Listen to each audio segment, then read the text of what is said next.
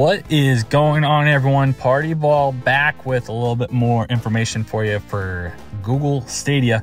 Initially, I planned to do a video at home in front of my camera, but fortunately for me, or unfortunately rather, I'm sitting in a parking lot as my truck has officially ran out of gas because reasons. So uh, here we are sitting in the parking lot, and Stadia had some news today that I did want to go over. And well, I have a voice recorder, so this works out. So if the audio happens to not be very good, I do apologize for that.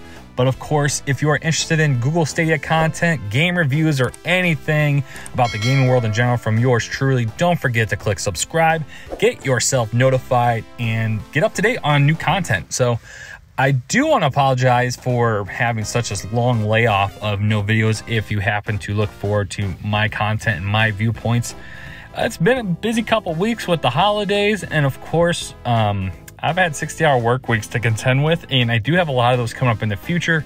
So, my goal is to be a little better with planning my videos over the weekend so we can definitely have some content throughout the week and not have these kind of long layoffs.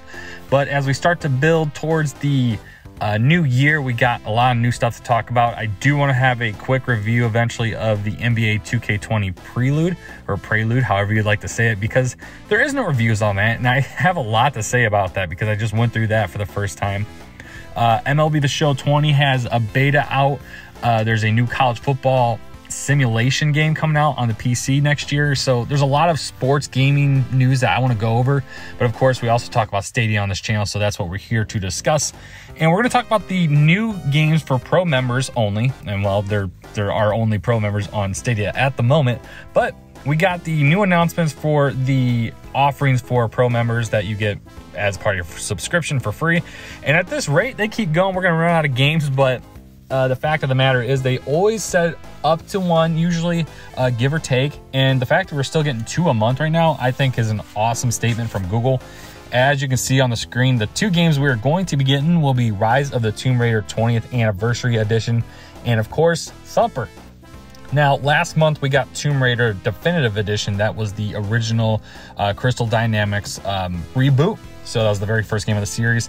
And of course, not long ago, about a week or so ago, you could have gotten the third game in the series on a pretty nice discount for, I believe, $27.99. So you could have had all three games for $27.99 at one point. Uh, Rise of the Tomb Raider will now be free for the month of January. Again, another great game in the series. Definitely worth checking out if you haven't already. But before I get on to Thumper, Tomb Raider, the definitive edition, the, the first game in the series, will lose its pro membership if you have not claimed it yet. December 31st at 9 a.m. Pacific time. So claim it before then, otherwise it'll be gone forever and you'll have to pay for it instead. But moving on, that's going to be the only game to disappear from the pro lineup um, if you haven't claimed it. Destiny 2, the collection will remain. Farming Simulator 19 will remain, and Samurai Shodown will remain. I have a feeling Destiny, at the very least, will remain until we start seeing the free tier coming out because I think they'll want people to be able to buy a pro membership and be able to take advantage of the Destiny offer. In fact, I could see Destiny just never going away, or at least maybe not for the first year. I could definitely see Samurai Shodown finding its way out. Uh, Farming Simulator, I think we'll get maybe another month out of that before they start to kind of peel back just a little bit and maybe go down to one game a month. Uh, get a little ahead of myself, but so starting January, uh, let me just double check this. So January 1st, so the brand new year, you will be able to enjoy Destiny 2, the collection, Farming Simulator 19, Samurai Shodown, and Rise of the Tomb Raider, and Thumper as part of your pro subscription. And speaking of Thumper, if you have not played Thumper, it is a banger. However, I do have to mention this, it is quite the challenge. It is a music rhythm game essentially, and it does require a lot of finesse to it. And if you are in the camp that has a little bit of a hiccupy connection with Stadia, Thumper is just not going to work out very well for you because it does require a little precision to making sure everything works out in your favor. But it's a very beautiful game. I understand it. it is awesome in virtual reality. One day I would love to give that a shot. But in the meantime, I won't be able to. But I have this on the Switch. I love Thumper. I'm glad it's coming as part of your pro subscription. In fact, it was one of my predictions being an early, uh, you know, addition to that. Now, I do want to go over some quick sales at the moment for Stadia in terms of what you can get on sale at the moment. Uh, the sales have kind of gone back and forth a little bit. And as I'm talking here, you'll see it on the screen because I'll edit this in post production. But currently in the Stadia store, you can get Borderlands 3 all versions of it on sale and that sale will be going on until January 8th and that will end at 1:59 a.m. I believe that will be local time. So that would eventually be or not local time. I believe that will be my local time. so I believe Pacific time at midnight will be when that would end. And that would be all three of them, as I already mentioned. So I believe that was a 35% discount. Um, going down the line, Grid and Grid Ultimate Edition, both on sale and those are greater than 50% discount, so it's a good sale for that. Uh, Grid has an exclusive mode specific to Stadia in which 40 racers can race up, you know, race online against each other. Currently, the way Stadia is in its current state, it's probably going to be hard to do because you can just go into the Destiny Crucible, the game that everybody has at the very moment, and you can still take a while just to get maybe a six person match going. Just imagine a game you have to pay for and a racing game at that. So eventually we might see that 40 car mode make a cool appearance for some people, but at the meantime, you're not going to get too much enjoyment out of that. Uh, I do not have Grid personally, but a lot of people are fans of the game.